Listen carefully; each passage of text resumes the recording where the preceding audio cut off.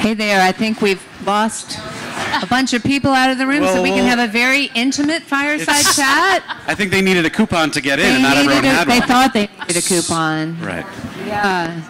And um, given that this is a fireside chat, we did bring a QR code to drop um, s'mores in your car. But it looks like that went down. Did we lose our s'mores? Because I, for me, at least, when there's a fire, there have to be s'mores. Always. Always. Always. And brandy. Yes. Brandy and s'mores. Yes. And here's Brandy, and we got s'mores. Brandy, and we have s'mores. So, um, all right, well, we'll get started, even though I have this funny feeling we're missing most of the audience. So hopefully they're coming. Yes. Actually, We can wait. We can wait a minute. can we wait a minute? Yeah, that's all right. Because right now I'm talking to Jeremy, who And he works already- for SmartCommerce, and you. We're going to have a one-on-one with you here. I love that. who, who do we have here? Who, lady in the front on your phone. Who are you? Sorry, I'm rallying the team. No, she was like, we'll just have a one-on-one chat. One-on-one. So I'm Ariel. Um, I'm with Brand Innovators. I manage our um, marketing, leadership, relationships on the brand side. Sweet. Very cool. So you said social media, right? And a long time ago. But he's he's with Brand Innovators. Oh, you're the you're the rent a. I, I am the guest MC. Um, a long time. Well, at one point I was a sponsor. No longer. Now I'm a brand. Um, but we built a technology for minting NFTs on the blockchain, white label solution beautiful. with Wow. utility and experiences all built into one. I love that. We should talk about that. Um, but I was going to say in 2012, I launched the first manufacturer coupon platform Walking. that was built SaaS, first of all, for the CPGs that I'm worked checking inside out of who you are, so we know how to speak to you. We were we were on the same wavelength. We were doing coupons and we were doing social.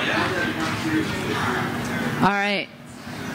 I am definitely waiting a second here. You want us to sing? You go if you don't mind. Otherwise, I'm going to start singing. If I sing, they will I- not come. When I get a mic in my hand, Are you going to karaoke me? I'm going to karaoke. Please let it be Whitney Houston. And I. it's only Whitney. I, I, what? Help me with Whitney. I don't even. that was it. You had it. That's the only one I had. Whitney Houston used to live across the street from. Well, her bodyguards lived across the street from me, and she lived down the street. Uh, that's what I was about to say. Not that bodyguard. They're actual bodyguards. And Oh, let me well, that's way you, less fun. There's a whole lot of drama happening. Yes, ma'am. What isn't working? The QR code. The QR code is not working. That's Oh, you have to get really close. maybe it's too small or too big. And let me try here. Yeah, we've never. Or it's oh, you know what? It has glare and shit. I'm Oh, getting. there it is. Yeah, oh, I, I, You have to get it I have right to get it right at the right angle. And then it goes away really fast. But anyway. Is this broadcasting? It is broadcasting. Awesome. So all the people who are broadcasting, we can start talking for, to you. Sure. And three, two, one. We're actually going to start. Hi, I'm Jennifer Silverberg. I'm the CEO of SmartCommerce. Thank you all who got roped into coming back here. Woo! Thank you so much. Um, SmartCommerce, for those who don't know, oh look at that chair. That's that is a very dangerous thing. Sorry, I'm also a mom, and there's a chair that's broken that somebody's going to break them, hurt themselves. So anyway, See, when y'all get to be our age, you can just do everything go, at one time. "What?" We're gonna do the marketing thing. We're gonna make sure everybody's eating. It's fine. So yeah, everyone, everyone, here's your some more for um, for your fireside chat. Um, anyway, Make sure you're all um, drinking water for later. Smart. sm- I, I'm going to introduce myself really quickly, and then we're going to be um, turning it over to Brandi for a bit. So, SmartCommerce um, helps bridge, helps CPG brands sell more stuff by turning all of their digital touch points into starting points for e-commerce. And we'll talk a little bit more about that as we circle around. Brandi, can you tell us who you are, what you do, Yes. your favorite song, sing it. I'm a cancer. Um, Cancer. I like walks on the beach. uh, yeah, I like puppies. Um, my name is Brandi Johnson, and I'm the CEO of the Coupon Bureau. Um, and we're actually going to talk about making coupons sexy again. Yes. So, Yes. Um, the Coupon Bureau is an industry nonprofit that was built to support the new universal coupon format. Um, so, that's me. So I want to think about this for a second. Who here realizes that when you go shopping online most of the time, there's not an opportunity for you to put a coupon in for the things that you buy the most? Just like when you walk into a store, you know, you have the you have a coupon that you've gotten somewhere. Have you noticed when you go to Walmart grocery, what are you going to do? You can scan them on your computer. What are you going to do? And so it's a hole that's been sitting there for a while, and the brand and, and there are some solutions that are specific to certain retailers, but the the challenging factor, the thing that hadn't been solved, was the ability to have a single coupon that works across all of the retailers. Which, Brandi, can you talk to us about? First of all, that's one of the problems. There's another problem. Help us understand what problems it is that, that the Coupon Bureau was seeking to solve. Sure. So, um, from a couponing standpoint, it's really important for brands to be able to activate those shoppers. Um, and for the last decade, coupons are the number one driver of consumer behavior. It's kind of sad and it's kind of weird um, because if I asked each of you, you may or may not have ever even used a coupon. But especially in the grocery space, it is the number one driver of consumer behavior. Um, when we were, you know, 10 years ago, all having the data debate, and then we're like, oh, let's let's not ask people for things. You could ask these women for their blood type, and they would give it to you for a 25 cent off coupon. It was magic. It was marketing magic. Um, and so the challenge became as we've moved more into a digital world, brands didn't have a digital solution for their activations that was retailer agnostic. So yes, you could you could do loyalty, right? And yes, you could do rebate, and all of those are fantastic. Um, but when it came to a brand actually being able to engage their shoppers omni-channel and deliver an offer direct to consumer that can be used in any retailer, there was no such thing.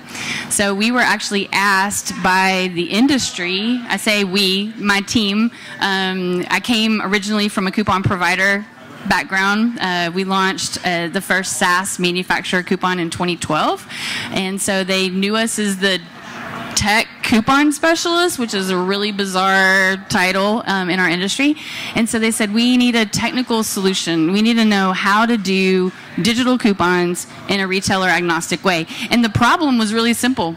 There was no little piece of paper to put in the point of sale so that we could have reconciliation, so that that retailer could get paid back from that brand. Very basic. So, how do we solve? Um, and so, we developed this connected ecosystem where all the retailers are connected in the cloud to a single source of truth, which is the Coupon Bureau. All the stakeholders providers, clearinghouses, the brands themselves, all connected now to the Coupon Bureau. So we are an industry nonprofit. I like to joke that we're like the FDIC of coupons. Um, we I don't, I don't know that that's a great analogy, but it kind of works. Um, and so, what our job is, is just to support the new coupon format, which is called 8112. That's our application identifier. I know I'm getting really coupon geeky. Um, and so, with this new format, brands, um, one, control their direct to consumer experience. Two, we've completely mitigated fraud. We'll talk about that a little bit. So, so that everyone knows um, that this is you guys need sexier names, by the way, because the old school format was I like 81 Brandy. 8110, and this one's 8112. So I'm kind of like, you know, they need anyway. The 8110 format, just so you guys know, is the information about the offer is actually sitting there in the barcode, and anybody who's in this room is smart enough to go decode that and create fraud. You wouldn't do it because you know you'll go to jail and all that, but but you can. And so um, while we're talking about opportunity, we're also talking about mitigating potential disasters for the brand. So You want to talk about? Hundred percent. So we, over the years, have seen brand budgets get pulled back and get pulled back from couponing, and it's because of the risk. There, there was no real-time validation of offers. So literally, this poor little cashier, she was the last line of defense to know whether or not, she became the banker. She became the validator of these offers, um, and so we didn't have that real-time validation.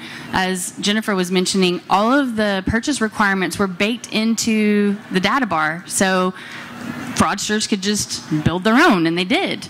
And then the final thing was for brands specifically, as you guys are looking to launch um, new product or maybe a new flavor, and, and you're wanting to really optimize your budget, you don't want it off of an entire family code of products. You just want it off of blueberry 22 ounce. Then there was no way to do that. Um, the information just couldn't be held in, in the barcode. So now, with the new 8112 we're going to make it sexy. 8112 format. Um, we have a couple of different parameters for the barcode structure. So the first of all thing is we removed the purchase requirements from the data bar with the new format, with the new standard. So now we've removed the ability for shoppers, fraudsters, to be able to go in and augment that barcode. The second thing is we've got mandatory serialization of every single coupon now. So from once we eventually sunset the current 8110 format and we move to 8112, then mandatory serialization for every offer. What that gives you as a brand is single use, kill at the till capabilities. So we're managing your budgets, you're not going to have overruns. Um, but the other thing that it does for you as a brand is depending on your provider, you now have one to one attribution for every single one of those coupons. So as we think about digital, and omni-channel and all the various places that shoppers are now because we have that mandatory serialization we can follow them and see where they're going and see what they're doing and how just have more visibility than we had before so I want to talk about, um, and by the way, we are partners on this thing. So it's, um, I'm not really moderating as much as we're having a genuine fireside chat. Genuine.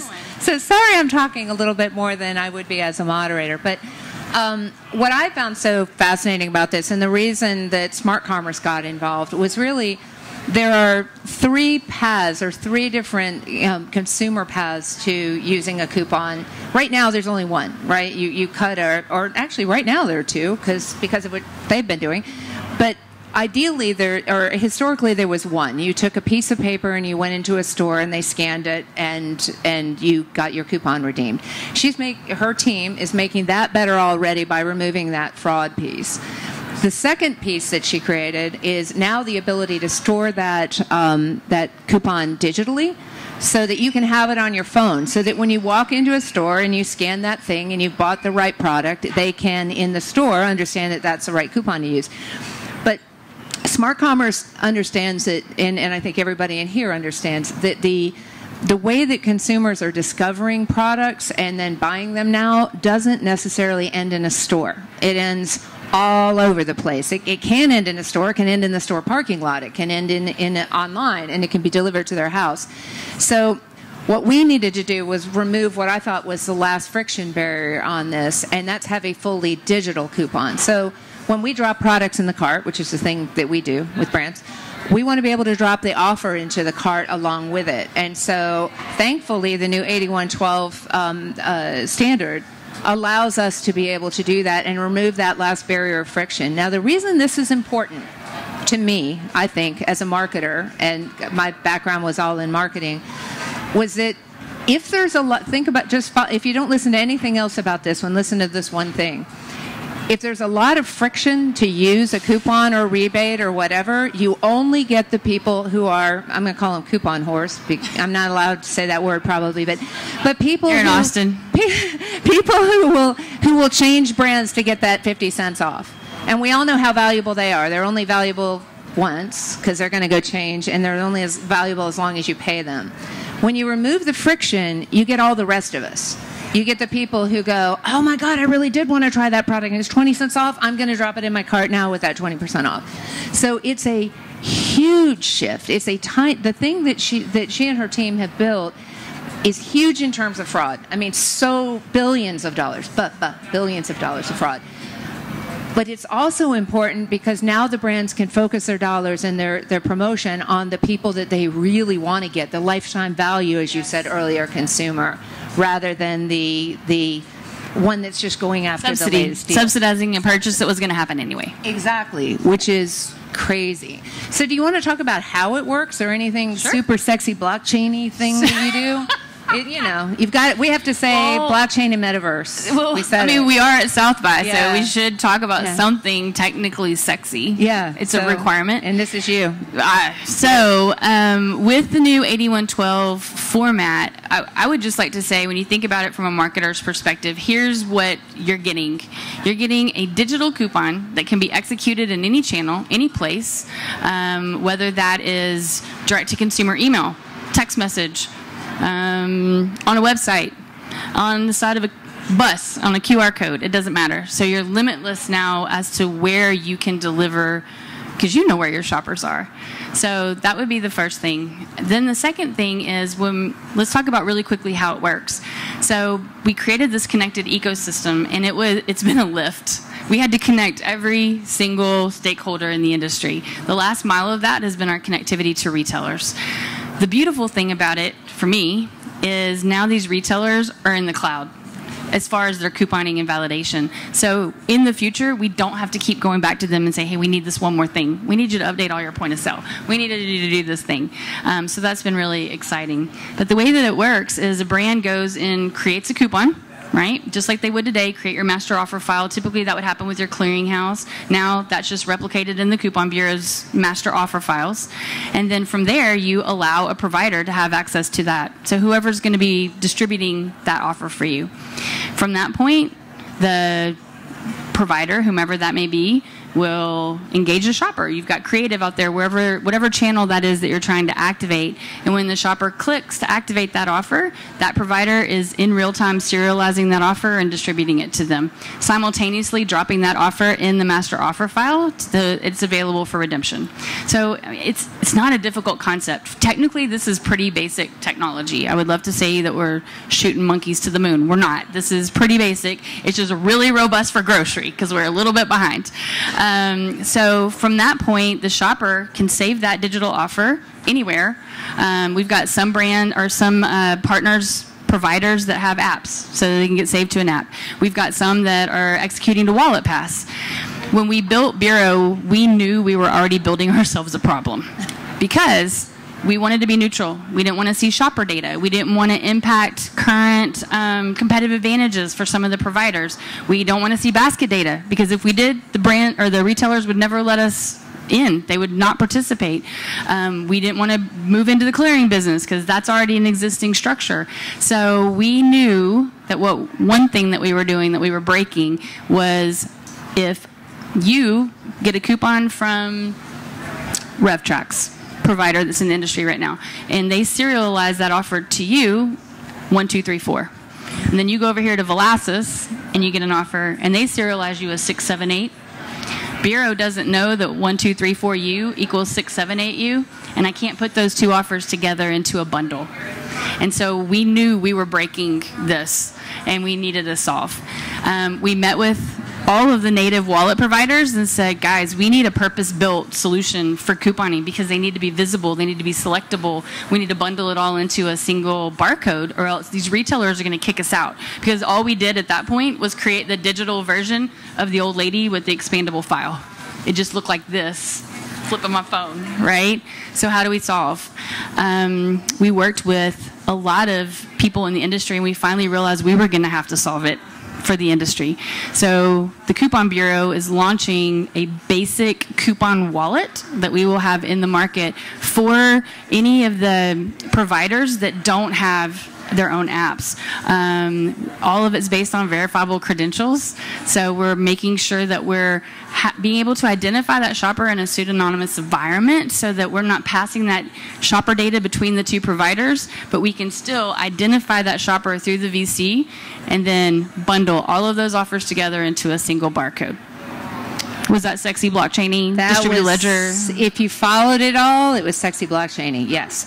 So where are we with this? I know a little bit of this, but you tell me your part. Where are we? Well, I'll tell you, I, I came from a startup environment, so I just thought we'll build it and they'll come, and then the whole world will be connected in six months. It's gonna be great. Uh, and that was three years ago. Yeah. But we had to build the barcode, and then we had to create all the standards, and we had to get those approved through all the various industry trade associations and powers that be. Um, right now, we have, I think, all of the legacy providers connected um, to the Coupon Bureau to be able to create and execute these offers. We've got all the major clearinghouses already connected and ready to, to settle these offers. Um, our last mile has been connecting retailers as you can imagine, I have to connect every retailer in the country, not just grocery, drug, mass, dollar. We also worked with Conexxus and NACS to make the standard for C-Store, so that for those brands that have C-Store products, it's the same process. Um, and this is where we met, actually. So we're a small team. We're a nonprofit and we needed help.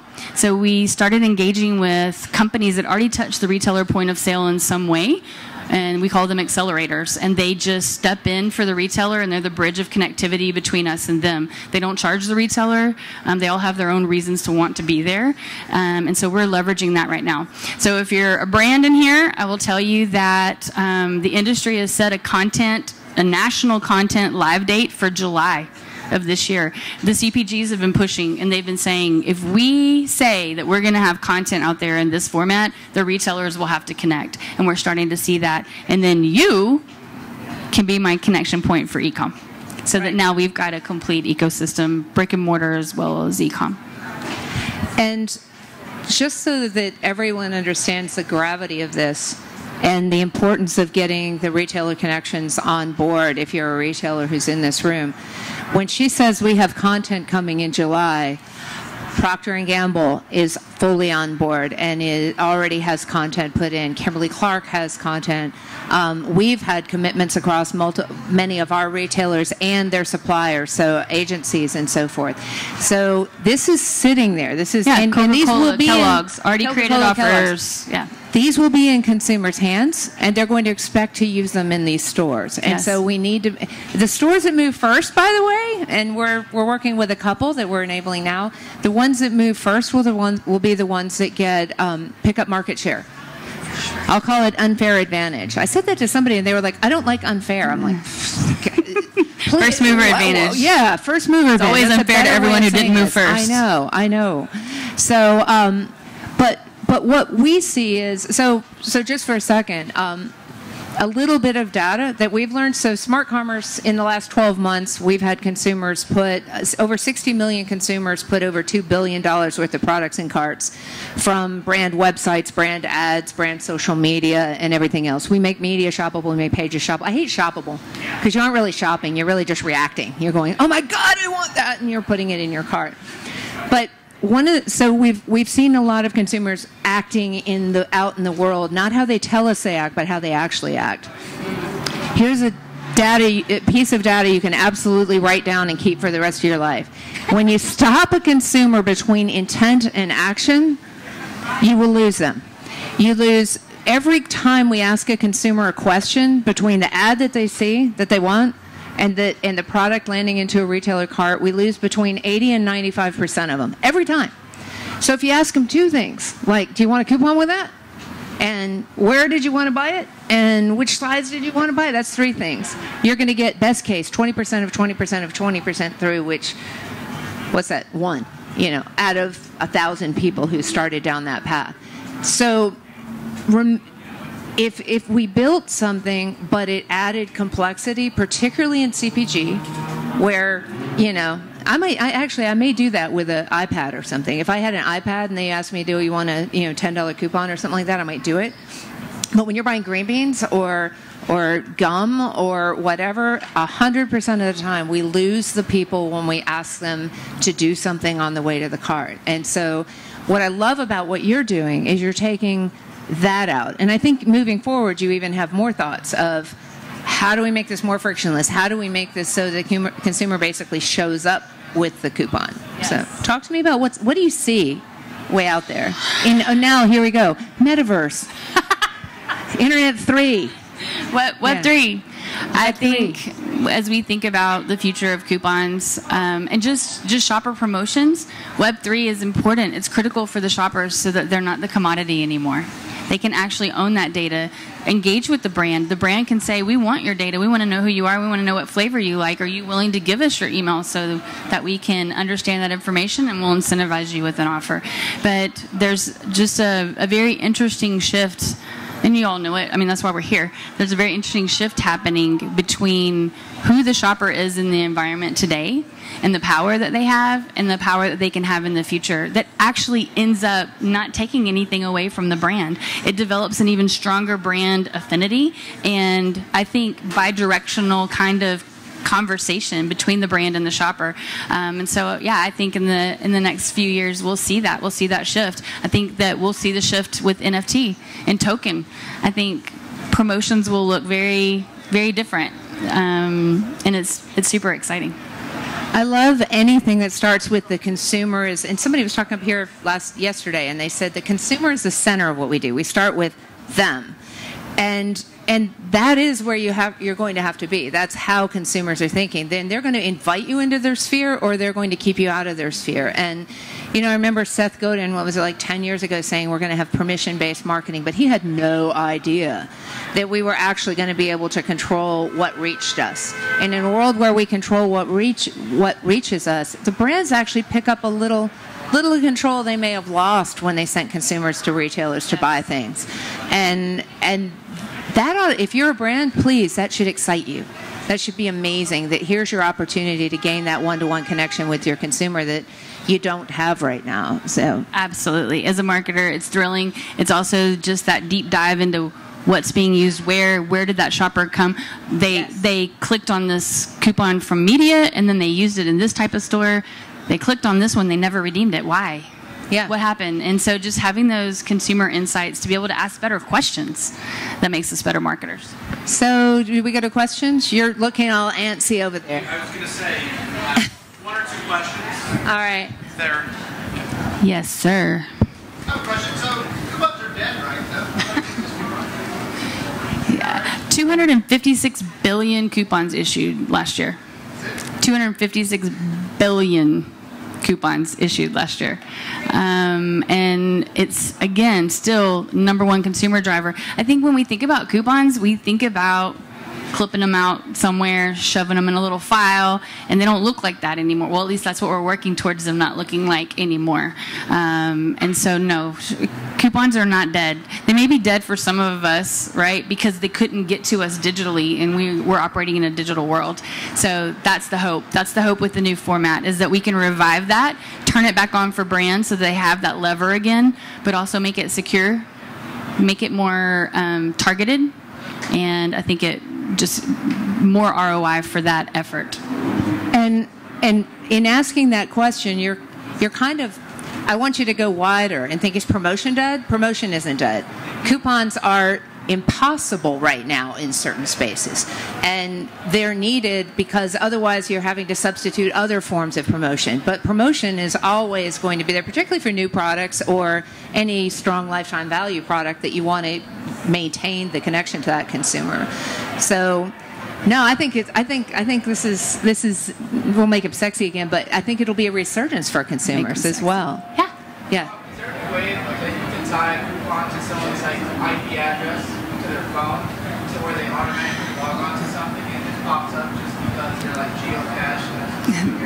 There are some providers that have that capability. It's typically, at least from what I understand right now, most of it's just geotagged, geofenced, um, and they're piggybacking typically off of some other location service that's already being run on the phone. But as far as like getting to the IMEI, IMEI level and understanding who that is from the mobile device, I don't know that anybody. I don't know. I I, um, I don't want to lie to you. Oh, you know? Yeah, we can do that. Oh, yeah, she can. Yeah. as a provider because we know where the consumer is, and so we can make sure that they see the the offer that I. why didn't you Why didn't you tell me you could do that? Uh, That's badass. Um, um, yeah. So we're still we're still figuring out what we're going to do here and what crosses the line and what doesn't cross the line. We had another question right here. Did you manage to get pure players like Amazon on board? Did you manage to get pure players like Amazon on board? Interestingly enough, some of our large CPG partners are having those conversations on our behalf. Um, so yes, um, I'm not going to say which large brand. One of the biggest couponers in the United States is having conversations with them right now. Um, and uh, I can't tell you which way that's going to go, but it, it, it would make sense. The other ones that have been really interesting to me are conversations that we're having with two of the largest e-com platforms right now. And it's exciting, but it's also scary to me. It's scary to me when I put my retailer hat on because I'm fighting. I'm fighting to get. I'm fighting to get those shoppers in brick and mortar, but it's also super exciting because there's so many shoppers now that are there. So from a brand perspective, amazing. I'll catch them wherever they are. But yes, complete holistic And the, one of the big challenges there, I know we've been working with your staff on this, is um, we need, because we are working as one of the adjudicators of the coupons, is understanding what is a third party sa- sale. Because the brands don't want to have to pay for uh, the coupons on a third party seller. And so, right. So that's one of the biggest challenges. And now Walmart, of course, as well. So, not naming names, but Amazon and Walmart, yeah, two tricky, tricky situations. You almost held on and didn't give it away until the end, but you, I got it, you know. Well, he asked. He said Amazon. well, Brandi and Jennifer, thank you so much. Thank you. Coupons. The